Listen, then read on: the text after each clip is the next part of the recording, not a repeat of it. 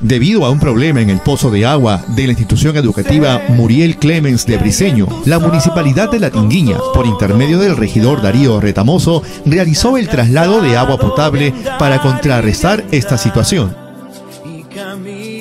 La directora de este plantel explicó cuál era la situación antes de recibir el apoyo por parte de la municipalidad. Ya tenemos 10 días eh, sin agua, he estado viendo la manera Santa Rosa, como todos saben, pertenece al distrito de San José de los Molinos, pero bueno, he estado haciendo la, gestión necesaria.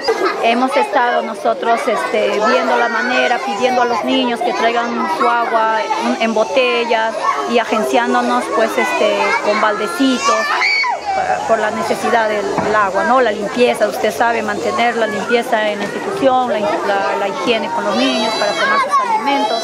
Asimismo expresó su agradecimiento a nuestra autoridad edil por haberlo socorrido en esta problemática. A través del señor regidor hemos podido nosotros este, contactarnos con la municipalidad de La Tinguiña y pues agradecer al señor alcalde ¿no?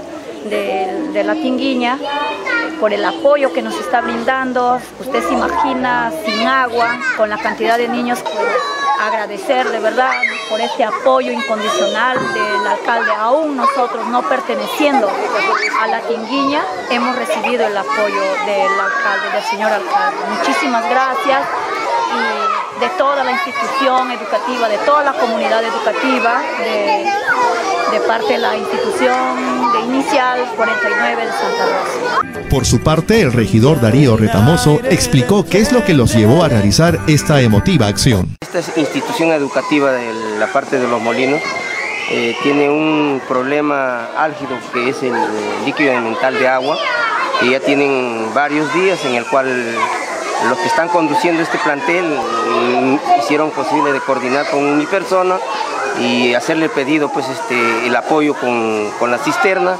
para traerle agua, eh, eh, haciendo la coordinación, pues más que nada el pedido al, señor alcalde, donde él pues siempre apoyando a las personas que realmente necesitan.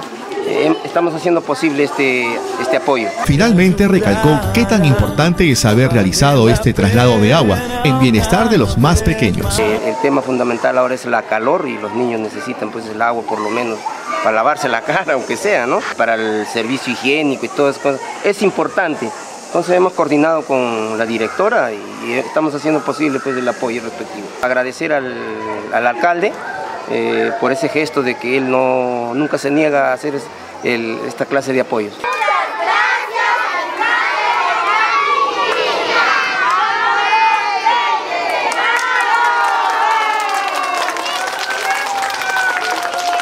Saber que se puede.